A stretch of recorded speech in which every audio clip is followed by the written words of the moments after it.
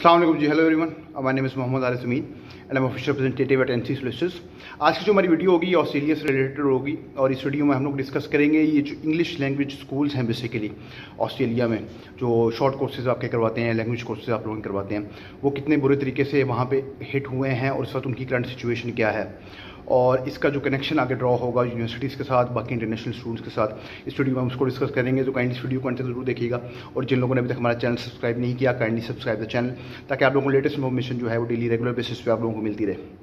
ठीक है जी, सबसे पहले, जो अब फोर्सेज प्लान है, उसके अंदर जो क्वारंटीन की सिचुएशन है, या उसमें जो इंटरनेशनल अराइवल की सिचुएशन है, वो ये है कि थ्री थाउज़ेंड थर्टी फाइव लोग जो हैं वो आएँगे, और पहले ये फिगर जो था वो six thousand three hundred seventy का था। यानी कि वो मजीद कम हो गया कोविड को रोकने के लिए, ऑस्ट्रेलिया ने जो फोर्सेज प्लान दिया, जिसको सारे ये कह रहे हैं कि बहुत ही वेग है।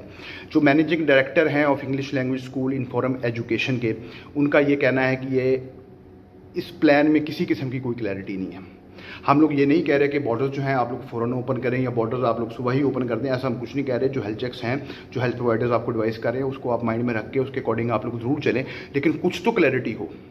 कुछ तो पता हो कि कब तक क्या टारगेट्स हैं, कब क्या ओपन होगा। फोर स्टेज इतना लंबा आप लोगों ने प्लान तो दे दिया है, लेकिन उसमें किसी किस्म की कोई डेट्स नहीं है, उसमें किसी किस्म की कोई क्लैरिटी नहीं है और उसकी वजह से हमारा जो बिज़नेस है वो बुरे तरीके से हमारा हिट हो रहा है। देखिए इंग्लिश लैंग्वेज ये जो स्कूल्स होते हैं बेसिकली ये छोटे स्कूल्स होते हैं। ये कोई बड़ी लेवल की यूनिवर्सिटी हाई टेक यूनिवर्सिटी नहीं होती। इनके पास इतने बजट्स नहीं होते, इनके पास इतने फंड्स नहीं होते। ये टोटली रिलाई कर रहे होते हैं इंटरनेशनल मार्केट पे या इवन लोकल मार्केट पे भी जो वहाँ पे इंग्लिश लैंग्वेज के या बाकी जो लैंग्वेज कोर्सेज हैं, वो वहाँ पे करना चाहते हैं। अब जो इंटरनेशनल स्टूडेंट है, अगर वो कोई वहाँ पर ऑस्ट्रेलिया में है, अब उसको फैमिली को भी अपना देखना है। अपनी फैमिली को मिलने नहीं जा सकता। अगर वो किसी तरीके से चला भी जाएगा, अगर वापस भी आ जाएगा तो उसको थ्री थाउज़ेंड डॉलर्स जो है वो पे करके उसको क्वारंटीन करना पड़ेगा। वो भी एक एक्सपेंसिव कॉस्ट है, वो भी उसको बेयर करनी पड़ेगी। स्कूल्स में फिर अब स्टूडेंट्स आ नहीं रहे। इवन जो नेशनल्स हैं, वहाँ के इंटरनेशनल स्टूडेंट को तो आप छोड़ दें, जो वहाँ के लोकल्स हैं, वो ऑनलाइन स्टडीज़ के लिए इंटरेस्टेड नहीं है।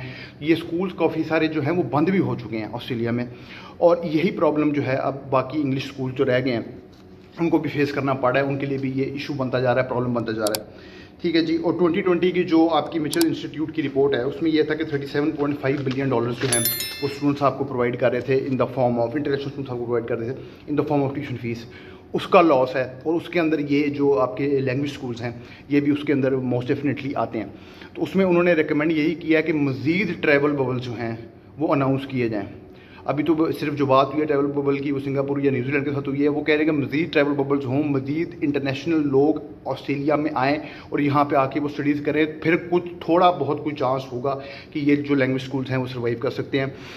और जो गवर्नमेंट ने फंड अनाउंस किया है that is of thirty five point five million dollars ठीक है, जो इंस्टीट्यूट्स के लिए उन्होंने अनाउंस किया है, उसमें से 17.7 मिलियन डॉलर्स जो हैं, वो उन्होंने in the form of fees relief जो है इंस्टीट्यूट्स के लिए अलाउ किया है और इन्होंने अप्लाई किया हुआ है उसके लिए फॉर द गवर्नमेंट ग्रांट लेकिन अभी उसमें अप्रूवल के लिए वेट कर रहे हैं और उन्होंने अपना सारा जो एजुकेशन का जो उनका सिस्टम है लैंग्वेज स्कूल का, उन्होंने उसको टोटली ऑनलाइन पे शिफ्ट कर दिया। और तो सिर्फ़ इसलिए ऑनलाइन में शिफ्ट किया कि जो उनके डेली के एंड मीट हैं, जो उनके मंथली एक्सपेंसेस हैं, वो उसको बेयर कर सकें, उसको बर्दाश्त कर सकें। इतने बुरे तरीके से ये चीज़ें हिट हुई हैं। देखिए पॉइंट ये है जो यूनिवर्सिटीज़ हैं, बड़ी यूनिवर्सिटीज़ हैं टॉप रैंक यूनिवर्सिटीज़ हैं, उन्होंने ऑलरेडी बहुत कमाया हुआ है, बहुत बजट है उनके पास, और वो कुछ अरसे तक जो है उसको अफोर्ड भी कर सकते हैं। और अभी तक वो कर ही रहे हैं। मजीद लॉस भी उदाना हादसा अगर होता है तो उसको किसी ना किसी तरह बेयर कर सकेंगे। लेकिन ये जो छोटे स्कूल्स होते हैं, ये डे टू डे लाइफ इनकी जो होती है, आप समझ लें, या मंथली एक्सपेंसेस इन्होंने मीट अपने करने होते हैं। इनके इतने एक्सपेंसिव होते, ये कोर्सेज ज़ाहिर इतने एक्सपेंसिव होते भी नहीं है। यूनिवर्सिटीज़ में अगर आपकी fees twelve thousand fourteen thousand fifteen thousand dollar है, यहाँ पर तो नहीं होती। तो इनके लिए इंटरनेशनल स्टूडेंट का इंटरनेशनल मार्केट का आना बहुत ज़रूरी है। द पॉइंट इज़ कि बिजनेसेस जो हैं अब बिल्कुल ऑन द एज पे आ चुके हैं और बॉर्डर ओपनिंग 2022 में हर हाल में इनको ओपन करना पड़ेगा अदरवाइज़ इनके लिए कोई ऑप्शन नहीं है। दिसंबर का टारगेट है मीट होता है या नहीं होता इट डजेंट मैटर आप लोग वैक्सीनेशन लोगों को ऑफ़र करें ऑस्ट्रेलिया वैक्सीनेशन ऑफ़र करें, लोग करवा रहे हैं, ठीक है, नहीं करवा रहे फाइन लेकिन by the first quarter of 2022 border opening बहुत ज़रूरी है। अदरवाइज़ ये बिजनेसेस तो बिल्कुल जिसे कहते हैं फ्लैट हो जाएँगे। इनका कोई, इनकी एग्जिस्टेंस का भी किसी को याद नहीं होगा।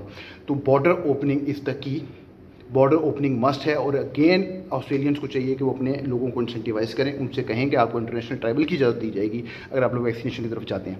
नहीं तो इस तरह तो ये टारगेट्स जो हैं मज़ीद आगे बढ़ते जाएँगे और मज़ीद बिज़नेस के लिए प्रॉब्लम होंगी। तो मैं उम्मीद करता हूँ ये वीडियो आप लोगों को पसंद आई होगी। तो काइंडली मुझे कमेंट सेक्शन में ज़रूर बताइएगा वीडियो आप लोगों को कैसी लगी और मेरी पूरी कोशिश होगी कि एज सुन एज पॉसिबल मैं आपको उसका जवाब दूँ। ठीक है जी? Thank you very much for your time take care अल्लाह हाफिज़।